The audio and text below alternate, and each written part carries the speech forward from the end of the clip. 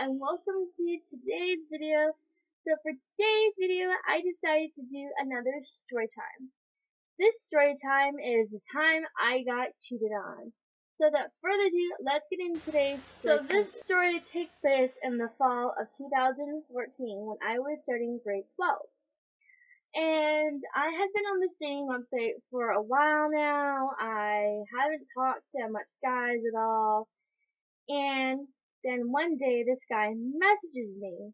I'm not gonna give the real name of what I'm not gonna give his real name out, but we're gonna give him a fake name. So let's call him Jacob.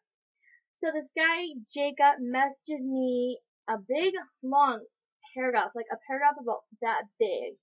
I'm like, oh boy. So I read through the whole paragraph and then we exchange numbers. Turns out he lives in the same town that I live in.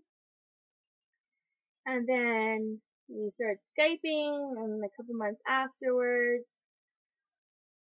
we hit it off pretty good. We were planning on our first date, when we were gonna meet, and all that stuff. And then things started to get a little rocky because he wouldn't answer my text messages or wouldn't answer my phone calls for a couple days, and I'm like, okay, what's up? Like, I know he has a life and I know he's busy and has his own things to do, but like, don't need to ignore me. But anyway, this particular day was the day that I wished it never happened at all. It was a day that I was hanging out with my aunt and she got this text messages from this number. And so she shows me the messages and she said to me, Hey, do you know this number? And I'm like, I don't think so, but I'll check my phone. So I grabbed my phone and I went through my whole contacts until I went to Jacob's number. Turns out it was Jacob who was texting my aunt.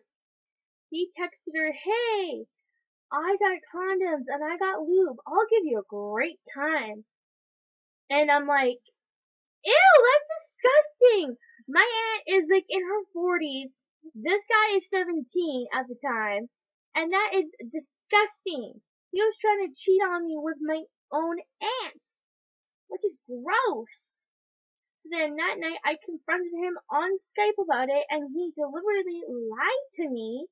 And he's like, oh, I'm not cheating on you. I'm like, stop lying. When is the lying gonna stop? Just tell me the truth. And then he's like, okay, fine. Yes, I did cheat on you. And it was with more than one girl too. And I'm like, really? Really? When you enter a relationship with someone, you are with that person and that person only. You don't cheat on them. Like, I had enough, so I ended a relationship with Jacob. I haven't heard from him since. I don't plan on to hear from him at all because I can't believe that he tried cheating on me with my aunt, which is pretty disgusting. But anyway, that is it for today's storytime video. If you guys like me doing the story time videos and you guys want me to do another one, then give this video a thumbs up.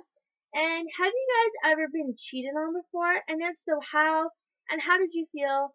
Leave me a comment down below letting me know. And don't forget to subscribe down below to see new videos every day.